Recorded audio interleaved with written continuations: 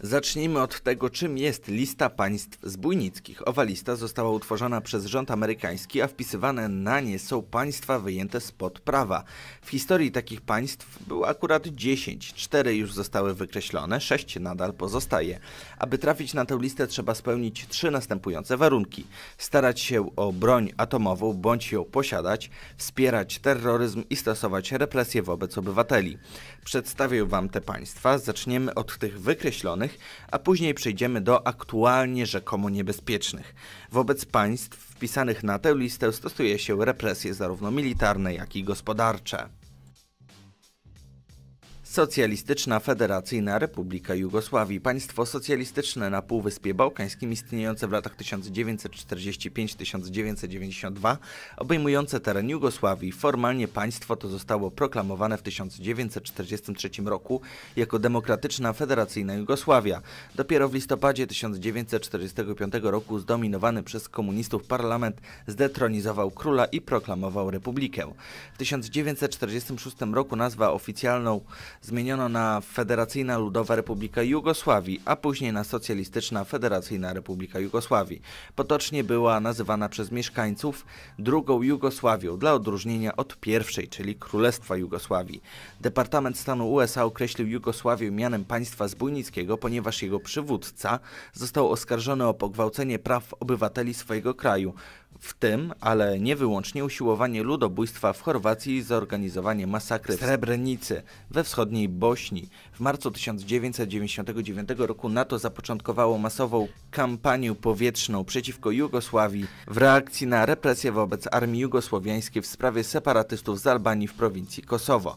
W 1991 roku doszło do rozpadu federacji na szereg państw narodowych, tym samym wykreślono Jugosławię z listy państw zbójnickich. Libia, państwo położone w Afryce Północnej nad Zatoką Wielka Syrta ze stolicą w Trypolisie. Rzeczywistym przywódcą Libii został pułkownik Muammar al-Kaddafi. Al-Kaddafi ogłosił własny program polityczno-społeczny będący połączeniem arabskiego socjalizmu i politycznego islamu. W drugiej połowie lat 80. zaostrzający się konflikt między Libią a Stanami Zjednoczonymi doprowadził do nałożenia sankcji gospodarczych i akcji lotnictwa USA na tereny Libii. Libia została usunięta z listy państwowych sponsorów terroryzmu dopiero w 2006 roku po sukcesie dyplomatycznym. Dodatkowo Amerykanom podobało się to, że w 2011 roku po wojnie domowej Kaddafi został odsunięty od władzy. Te czynniki sprawiły, że Libia została wykreślona z listy państw zbójeckich. Irak, państwo arabskie na Bliskim Wschodzie, leżące nad Zatoką Perską. Stany Zjednoczone selektywnie używały sił powietrznych przeciwko Irakowi przez wiele lat po zakończeniu wojny w Zatoce w 1991 roku. Reżim w tym państwie został opisany jako krnąbrny i wyjęty spod prawa, który nie tylko decyduje się pozostać poza rodziną demokratycznych narodów, ale także atakuje podstawowe wartości. Po zakończeniu II wojny w Zatoce Perskiej Irak został wykreślony z tej listy. Teoretycznie ta wojna oczywiście nadal trwa, ale mam na myśli działania militarne na większą skalę na terytorium tego państwa. Afganistan, państwo śródlądowe położone w Azji Środkowej ze stolicą w Kabulu. Pociski rejsowe zostały wystrzelone w Afganistan w odwecie za zamachy terrorystyczne na amerykańskie ambasady w Kenii i w Tanzanii we wrześniu 1998 roku. Następnie nadeszły zamachy w 2001 roku, co doprowadziło do inwazji na to państwo. To właśnie Afganistan odpowiadał za umożliwienie szkolenia specjalistów z Al-Kaidy, którzy są naprawdę świetnymi żołnierzami, niestety walczącymi nie po tej stronie co trzeba trzeba oraz Afganistan pozwalał na finansowanie owych ugrupowań.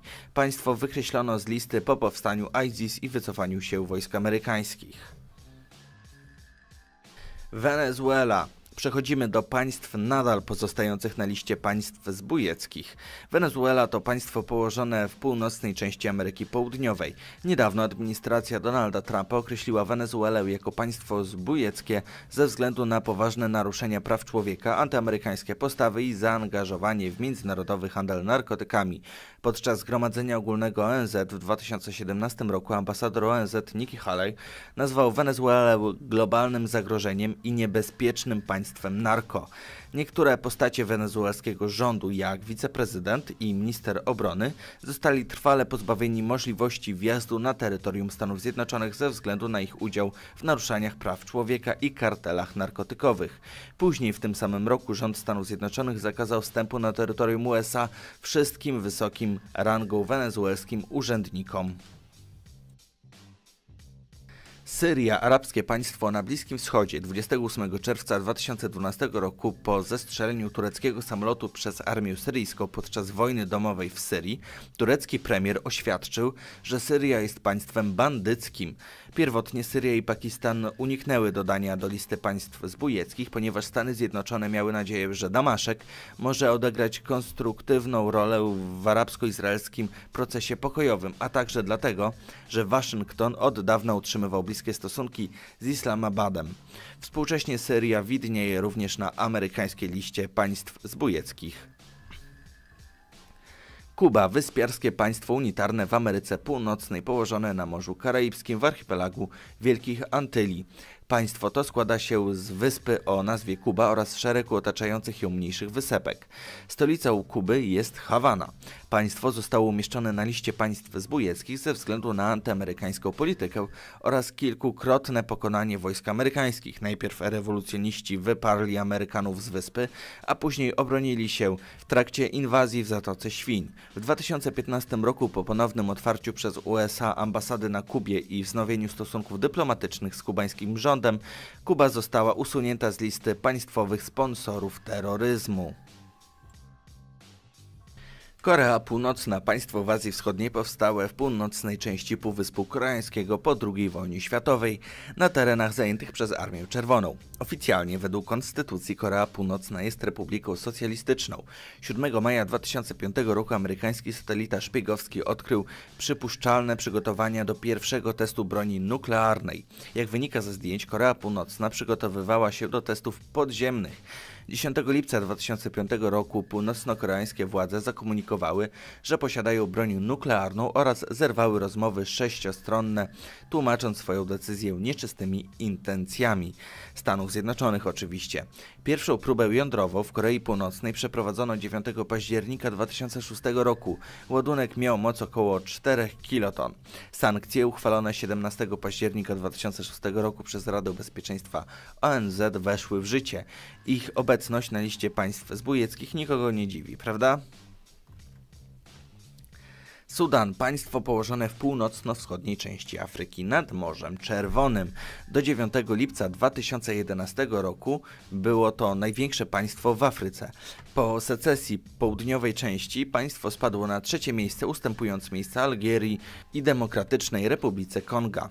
Trudne jednostronne sankcje gospodarcze, często na żądanie kongresu, zostały nałożone lub zaostrzone przeciwko temu państwu przez Stany Zjednoczone. Pociski rejsowe zostały również wystrzelone w Sudan w odwecie za zamachy terrorystyczne na amerykańskie ambasady w Kenii i w Tanzanii we wrześniu 1998 roku. Sudan był takim państwem, które było jakby wsparciem terrorystów arabskich w czarnej Afryce. Iran, państwo na Bliskim Wschodzie leżące między Morzem Kaspijskim na północy, a Zatoką Perską i Zatoką Omańską na południu. Iran dysponuje trzema rodzajami sił zbrojnych, siłami lądowymi, marynarką wojenną oraz siłami powietrznymi. Wojska irańskie liczą 545 tysięcy żołnierzy zawodowych oraz ponad 1,5 miliona rezerwistów. Według rankingu Global Firepower irańskie siły zbrojne stanowią 22 siłę militarną na świecie bez ewentualnego potencjału nuklearnego. Po zamachu terrorystycznym na World Trade Center prezydent udzielił poparcia USA w wojnie z afgańskimi talibami. Dyplomacja irańska odgrywała pozytywną rolę podczas konferencji w Bonn. Jednak mimo to kilka dni później prezydent USA George Bush umieszcza Iran na osi zła, czyli jakby liście państw zbójeckich, zaraz obok Iraku. Według rządów niektórych państw, w szczególności USA i Izraela, Iran zmierza do budowy broni nuklearnej. 14 lipca 2015 roku Iran Zawarł międzynarodowe porozumienie z pięcioma mocarstwami z USA, Rosją, Wielką Brytanią, Francją i Chinami oraz Niemcami dotyczące jego programu nuklearnego. Dzięki temu Iran uzyskał zniesienie większości sankcji, co miało stać się początkiem poprawy sytuacji gospodarczej.